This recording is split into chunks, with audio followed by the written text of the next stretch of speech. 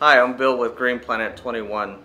As you see on our office pack or SOP bales, we currently have Chinese inspectors come here to the facility and inspect the materials before they even leave our facility. Just this morning he was here.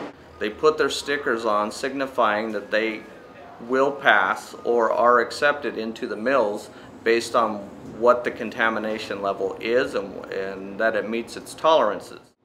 Currently, selling into the Asian markets, the rules have, of engagement have changed. Uh, we are no longer allowed to accept materials that are contaminated by things other than what the customer is purchasing.